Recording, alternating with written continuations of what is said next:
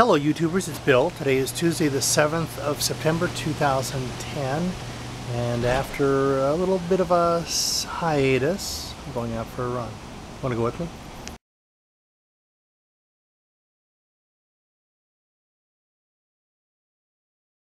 Okay, let's go. Okay, made it to the top of the hill. Look how pretty the flowers are. I stopped and saw the roses. Ooh, so real nice. Made it to the mailbox and running, but not always. Okay, it was a mile. It was walking and running, but I did put my shoes on and I did go out for a run today. Thanks for watching, YouTubers.